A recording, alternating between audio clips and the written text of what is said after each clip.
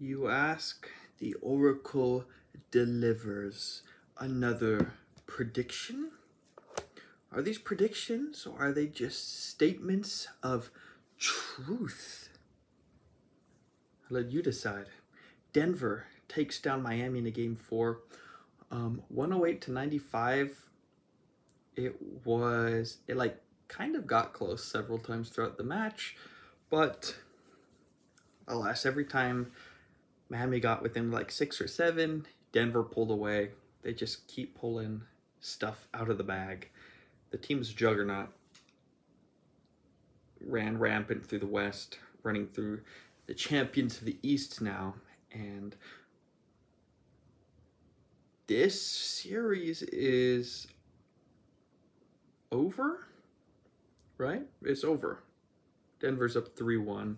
Heat can make it interesting. They can create some more, they can make some more headlines out of it by forcing a game six, but this series is over. Denver is far too good. They're so well rounded.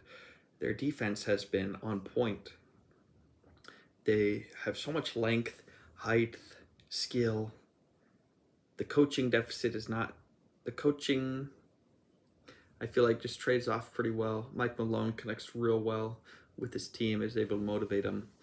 And they were able to get two wins in Miami, games three and four both needed and I think Denver have proved themselves to be worthy, more than worthy, NBA champions. Let's talk about the game a little more. Denver rolled his ankle in the first, or Jokic rolled his ankle in the first quarter. One of the most durable players we've ever seen. And it didn't seem like it bothered him too much, did it? He can play, he continues to play. It's a good game. Um, gets a crazy fifth foul. That was a big bam. I didn't even think like he sold it very well. Just Scott Foster's fell for it. He's gonna look at that and Scott Foster got got by Bam Adebayo on that play. He embellished it big time.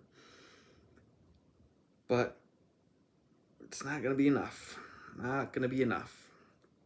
Jokic and Murray did not have good shooting nights. If you were to tell, you know, a Heat fan, you know, how poorly they played, let's see, um, Jokic 23 points and Murray 15 points. Like, ooh, I take that every day. But Denver is a deep team. I say like pound for pound, they're deep. Just all seven of those guys can play. And they were able to snatch a win here with Bruce Brown and Aaron Gordon combining for 48 points. Aaron Gordon with his highest playoff career. 27, very impressive very physical. Lots of great cutting, just beautiful basketball coming out for Denver. Um, this team, this team's going to be around next year, my friends. Bruce Brown is going to opt out of his contract, and we'll see what happens. He can probably get a decent sized bag. And with the new CBA, we'll see how deep into the pockets the Nuggets owners are willing to reach in to the tax because they do have some uh, payments to be made. Players are to be paid on that team.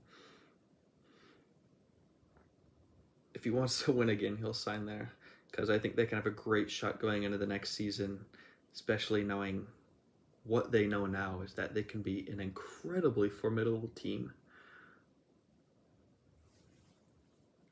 Michael Porter Jr outside of not having, again, still looking, searching for the three stroke, I hope he finds it in this last game, or else it just feels like a weird ring. Um, of course, he's contributed a ton to be here, don't get me wrong, but it's like I have this ring and you know, I didn't play well in the finals at all. It's got to be Know, it's kind of, that would just be an odd feeling. So I hope he gets this uh, a good game here. Um, I like him as a player. Just yeah, there's it's volatile. He's a volatile player, but what's not volatile is his height and the impact he can have rebounding, and how he spaces out the floor despite not shooting great, and we can see him adjusting his game a little bit, cutting to the basket. You saw those first two shots just hit, just clunk the front of the rim, like, ah, brother, get it in the hole. So yeah, Denver's complete. The Heat, Strus has not been well. Jimmy and Bam, I mean, we had there's missed layups, but they're just outclassed here. They can't break the Denver defense. It gets ugly. It gets ugly. They're not finding these open threes that they were getting in that second game and in previous series.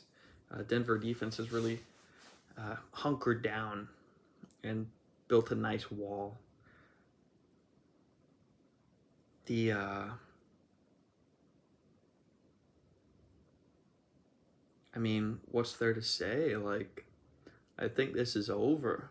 The Heat have met their match. They have made an incredible run through the Eastern Conference. They rolled through the first seed, the second seed, and a hot Knicks team.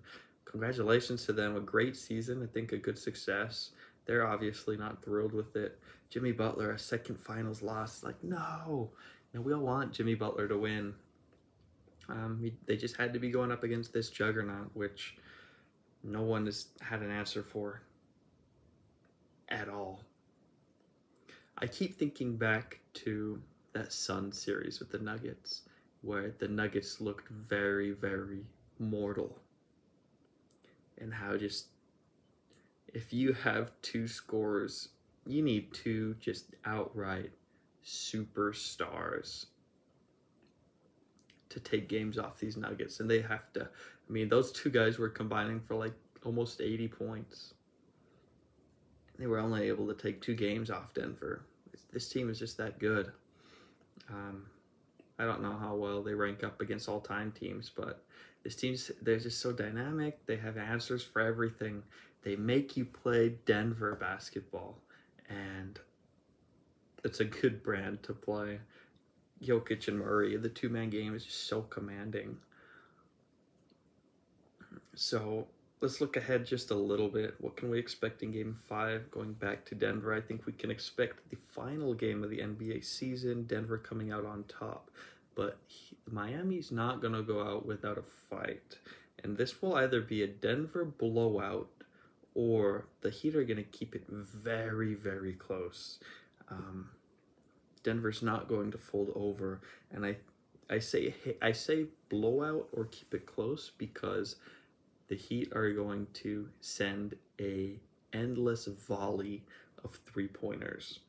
That is what I'm predicting for Game Five. That is what the Oracle sees in his ball, and we'll see how we'll see how good a looks they can get and whether the shots fall in Denver or not. Should Miami win?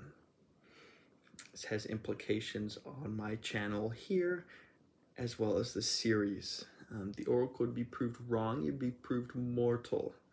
Um, I don't anticipate that happening. That does spice the finals up a lot, though.